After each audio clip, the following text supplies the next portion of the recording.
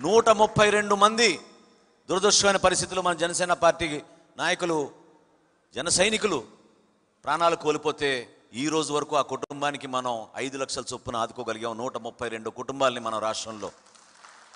ప్రతి కుటుంబానికి వాళ్ళ ఇంటికి వెళ్ళి జిల్లా నాయకులు అందరు కలిసి వస్తారు. జిల్లా నాయకత్వం అందరూ వెళ్ళి ఇంటికి వెళ్ళి ఆ కుటుంబాన్ని పరామర్శించి పవన్ కళ్యాణ్ గారు రాసిచ్చిన ఐదు లక్షల రూపాయల చెక్ వాళ్ళకి అందించి ఒక భరోసా నింపి మేము ఉన్నాం మీ వెంట. మీ బిడ్డ మీ బిడ్డల గురించి మేము చూసుకుంటాం ఇబ్బంది పడబాకండి అని చెప్పి ఒక ధైర్యం నింపి మనం వస్తాం. దీని వెనక ఏంటి అర్థం? ఇదేదో రాజకీయాలు చేసేది కేవలం మనం అనుభవించుకోవడానికి కోసం కాదు. ఆయన తన సొంత డబ్బులు ఖర్చు పెట్టిన వ్యక్తి రాజకీయాల్లో ఎవరైనా ఉన్నారా ఈరోజు వరకు చెప్పండి? ఏ కార్యక్రమం చేశారా ఈరోజు వరకు చెప్పండి? రాజకీయాల ద్వారా పదవులు పొందుతారు. రాజకీయాల ద్వారా వాళ్ళ కుటుంబాలకి మరింత దోచుకోవడానికి విలువైన ఆస్తులు లాక్కెళ్ళడానికి ప్రయత్నం చేస్తారు. కానీ ఎంత నిజాయితీగా చేస్తున్నారు ఆయన ప్రయాణం అంటే ఈ పార్టీ ఆఫీస్ కూడా మీకు తెలుసు. ఎన్నికల ముందు ఇక్కడ భూమి కొని ఆ రోజులోనే వాళ్ళ తల్లిగారి పేరు మీద తీసుకుని ఈ భూమి వారిచ్చిన డబ్బులతోటి మనం ఈ పార్టీ కార్యాలయం మనం ఏర్పాటు చేసుకున్నాం నిర్మాణం చేసుకున్నాం.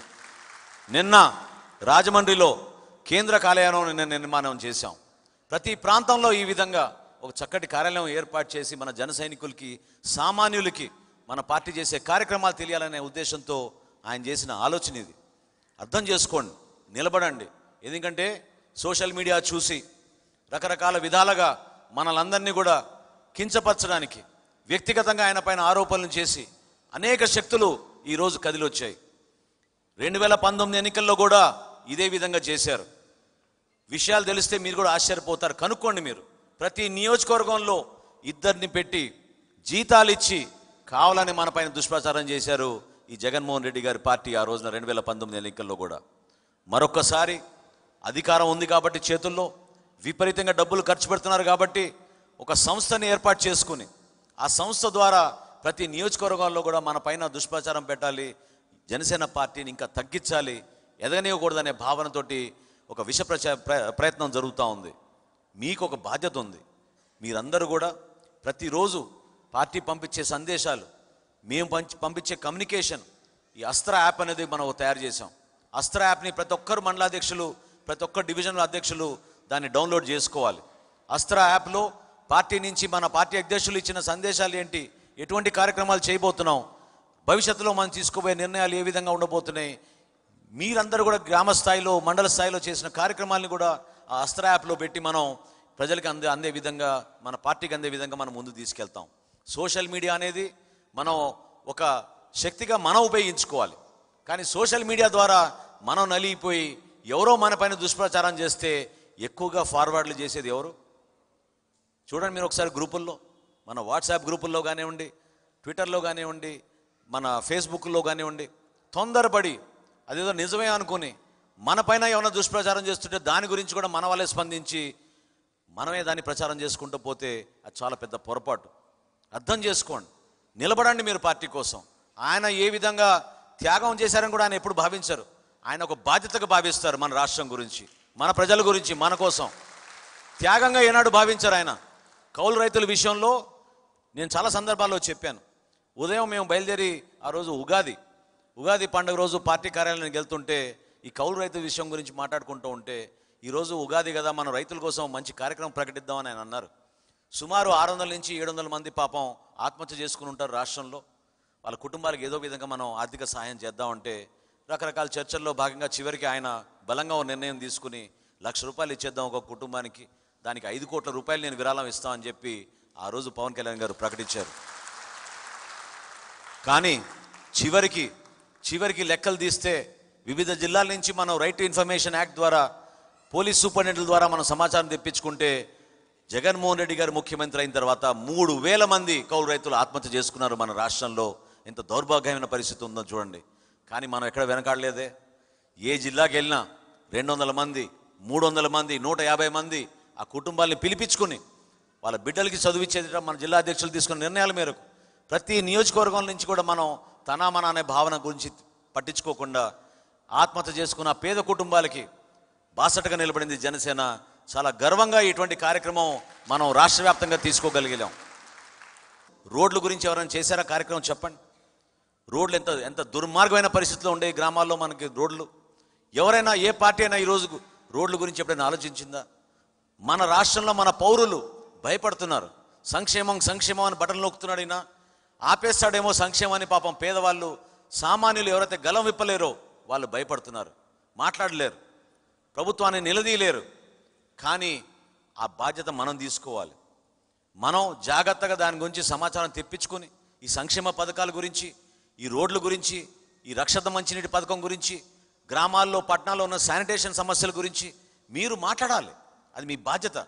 ఎందుకంటే పార్టీ అనేది మనం కేవలం ఎన్నికలప్పుడే మనం నిలబడదాం ఆ రోజు వచ్చి పని చేసుకుంటాం అంటే సరిపోదు.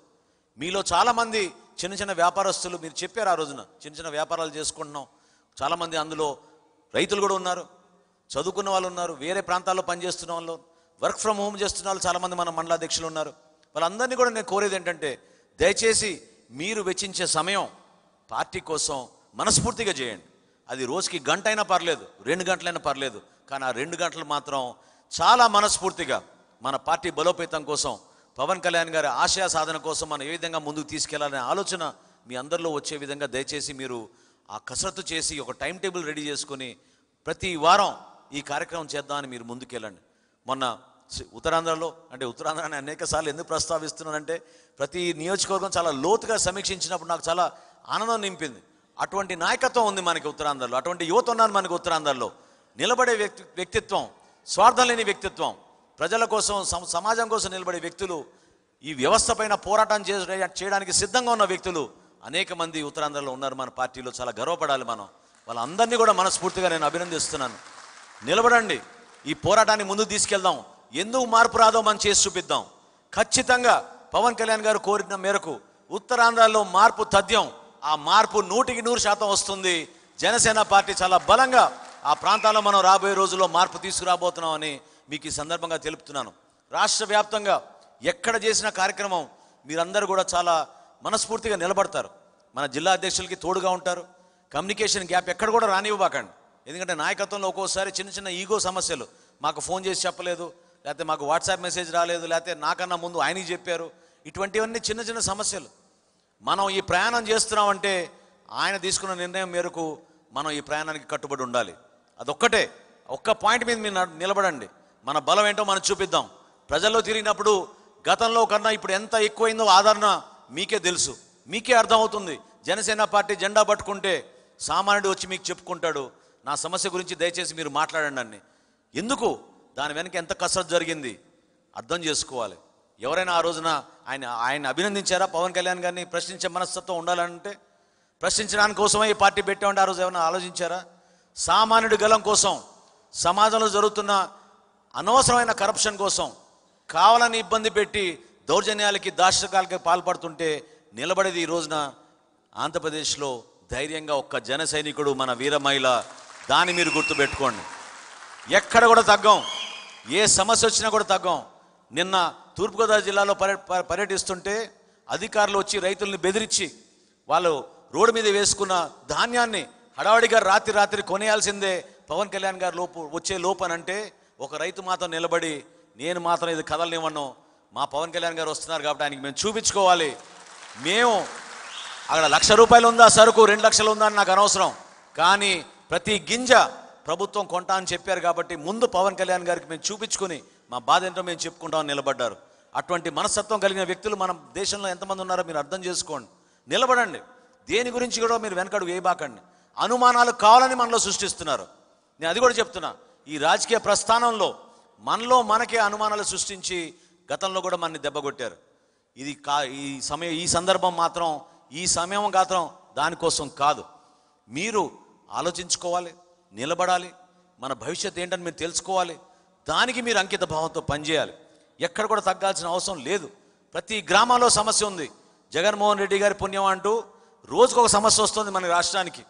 గతంలో ఏ ప్రభుత్వం ఉన్నా కూడా సంవత్సరానికి నాలుగో ఐదో సమస్యలు వచ్చేవి. ఈయన వల్ల ఏంటంటే ప్రతిరోజు ఒక సమస్య వస్తుంది. ఆ సమస్య మీరు గుర్తించి క్షేత్రస్థాయిలో దానికోసం నిలబడండి పోరాటం చేయండి. గ్రామాల్లో ఉన్న పరిస్థితులు మండలంలో ఉండ ఉండకపోవచ్చు. మండలం దగ్గర మనం స్పందన కార్యక్రమాల్లో మీరు పాల్గొనండి. సామాన్యుల పక్షాన మీరు పోయి నిలబడి స్పందన కార్యక్రమాల్లో పాల్గొనండి.